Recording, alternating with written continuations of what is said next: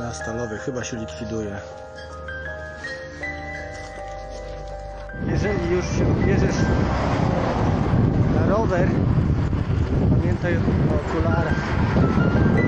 Jadę do Radzymina.